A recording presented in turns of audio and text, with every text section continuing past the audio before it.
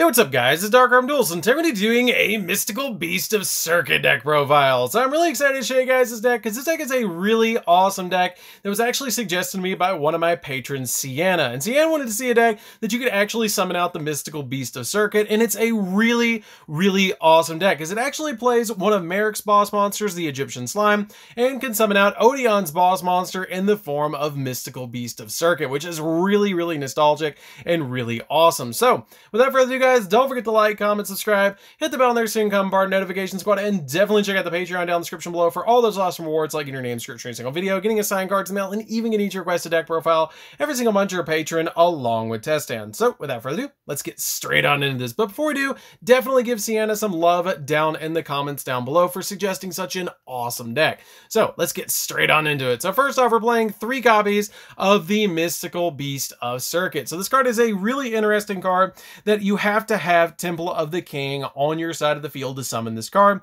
or it destroys itself. And basically, if this card destroys a monster by battle, you remove that monster in play, and then this card gains 500 attack, which is really cool to be able to just get a monster bigger and bigger by attacking monster, and it already starts out pretty big at 2500 attack points.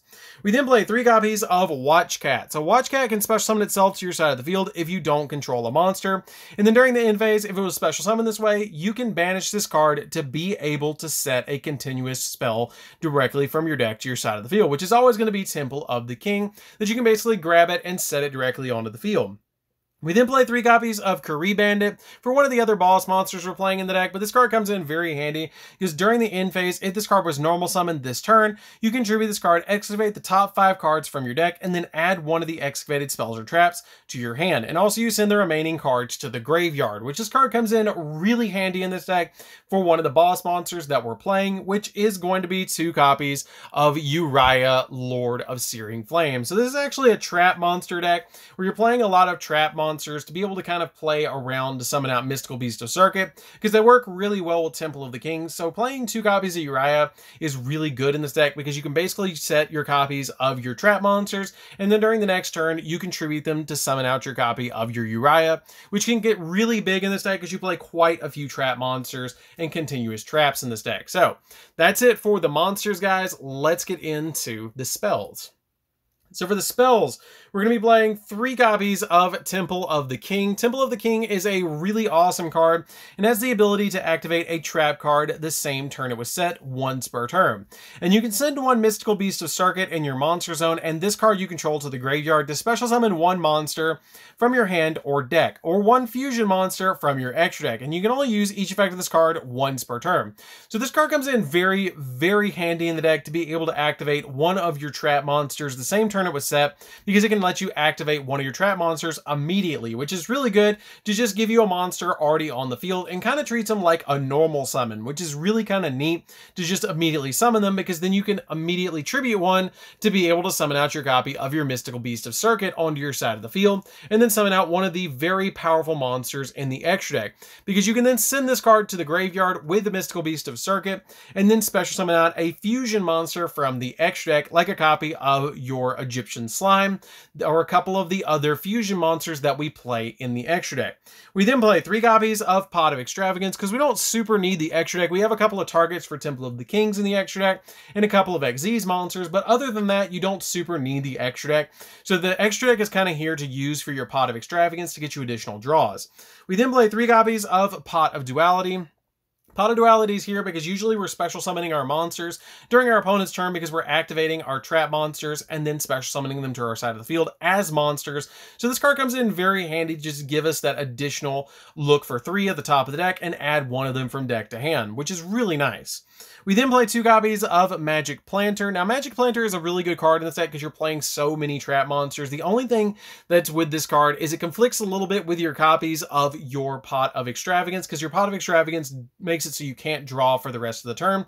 So you have to kind of pick and choose which one you activate. Usually, if you have Pot of Extravagance, you're going to activate this, which is why I only played this card as a 2 of in this build. So that's it for the spells, guys. Let's get into the traps.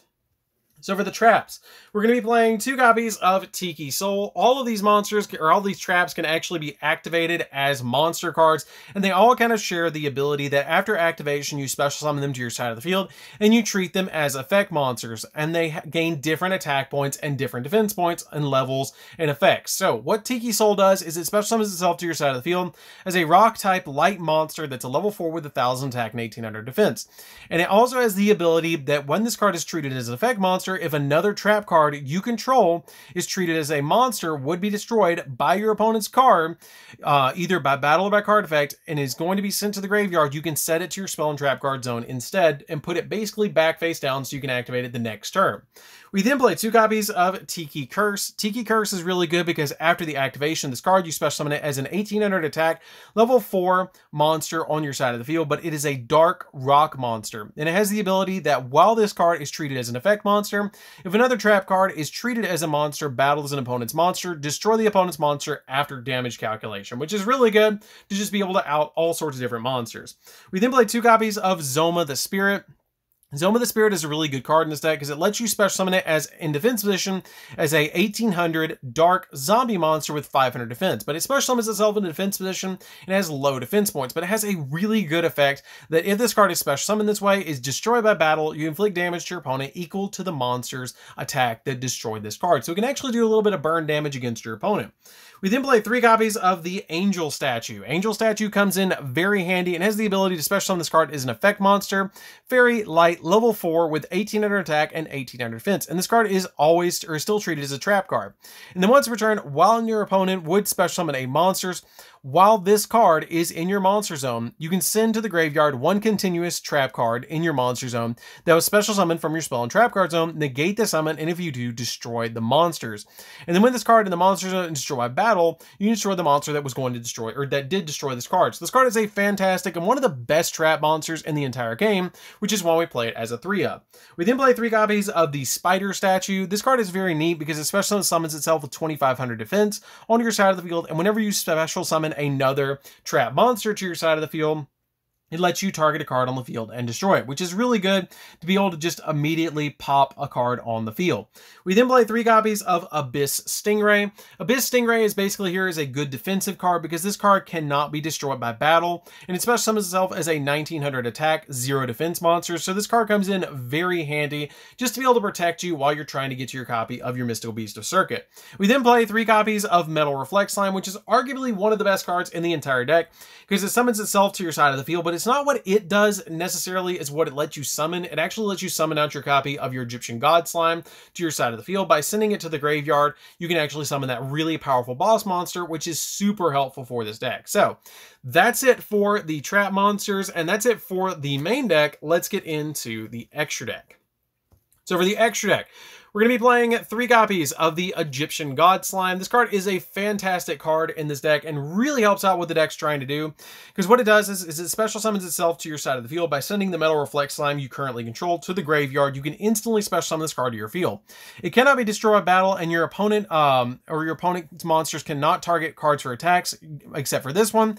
And your opponent cannot target cards with card effects except this one on your side of the field. So it's a really defensive, good card to play on your side of the field, and it has 3,000 3,000 attack and 3,000 defense, making it a really good boss monster. We then play three copies of Blue Eyes Alternative Ultimate Dragon. This card is a really good card to summon in this deck with your copy of Temple of the King. And basically this card can pop one card per turn, and it's a 4,500 beat stick, which is fantastic in this deck. We then play three copies of Red Eyes Dark Dragoon. You don't have to play Red Eyes Dark Dragoon in this deck, but it is, I do highly recommend it because it's easy to summon. It doesn't get the pop effect because you didn't put a vanilla into it to actually summon it, which is a little bit unfortunate, but it still can't be targeted with card effects. It still can't be destroyed by card effects, and it does get the negate, which is really good and goes to 4,000. So if you're going first, this card can come in very handy. If you're going second, the copy of the Blue Eyes Alternative Ultimate can be another option for you guys. And it's super nostalgic to be able to play kind of like Marik's boss monster your copy of Kaiba's Boss Monster, and then Yugi Joey Fusion, which is really cool to have kind of all of them from the original DM in this particular deck. I really love that.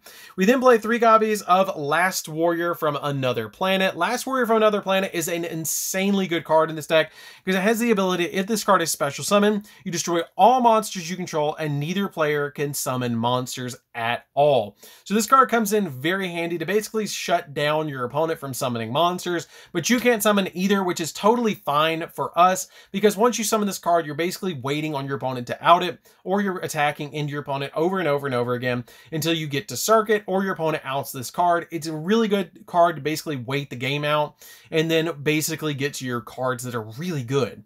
We then play a single copy of the Super Dreadnought Rail Cannon Gustav Max to do 2,000 damage to your opponent. You can summon this card really easily with Metal Reflect Slime and a couple of other cards in the deck, so this card is really good as a one-up, just to do a little bit of burn damage. We play a single copy of Bagooska as well. Bagooska is a really good card to put on your side of the field because you play so many level 4s in the deck and your trap monsters. You can make this card and basically wait out the opponent, put it in defense position, and then all of our monsters still come to the field in defense position.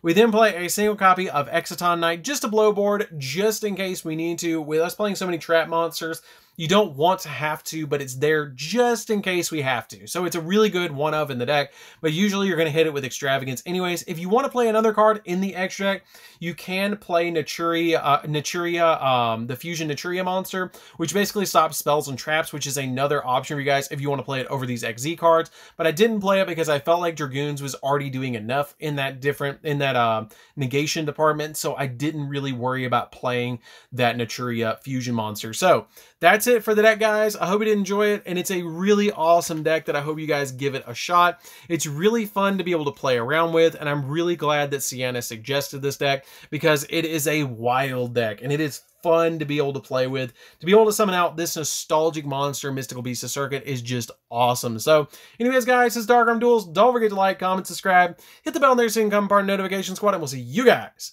in the next video. See you later, guys.